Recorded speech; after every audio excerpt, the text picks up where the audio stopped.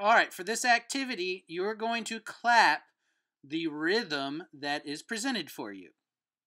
There will be quarter notes, which you will make sounds with your clap, and there will be rests, which you will be silent. The first example will always be listening. If you see the big ear, that means you listen and you watch along as the clapping takes place.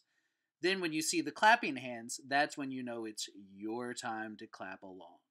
You may want to re, uh, rewind this and practice it a few times because they're going to be tricky, uh, as is music. Music is not something that's supposed to be the first time or the second time or the third time that we get it. Sometimes it takes a little while. But keep practicing, keep working, and do your very best.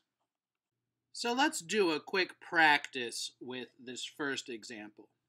Something that you're going to hear before the example begins are four bass drums.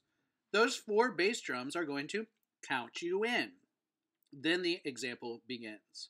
You will also see that a little ticker is counting the beats for you up on the screen. Use those to follow with your eyes as you listen to the examples. Do you see the little bar counter going across from beat to beat?